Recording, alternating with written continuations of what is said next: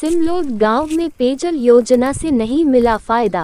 Firoz Khan, Baran, Kishanganj block की ग्राम पंचायत मुख्यालय सिमलोद में जल जीवन मिशन के तहत गाँव में घरों में नल कनेक्शन लगाए गए थे। और ठेकेदार द्वारा प्रति कनेक्शन के एक हज़ार रुपये रुपये जमा कराए गए थे। लेकिन उसके बाद गरीबों तक पानी नहीं पहुँच पा रहा है, जिससे आदिवासी व गाँव वाले परेशान हैं। गाँव के लोगों ने बताया कि जिसके निजी बोरवेल है, वह तो पानी पी लेते हैं। लेकिन जिनके नहीं है, वे पीने के पानी के लिए परेशान हो रहे हैं।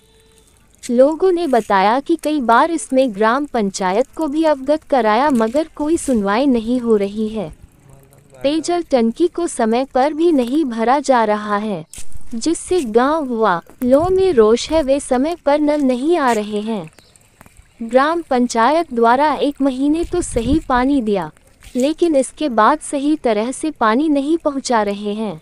जिन उपभोक्ताओं ने नल कनेक्शन लगवाए थे, उसमें इन्होंने नल फिटिंग नहीं करवाए, जिससे पानी व्यर्थ बहता है। इस कारण गाँव में कीचड़ हो रहा है। इस कारण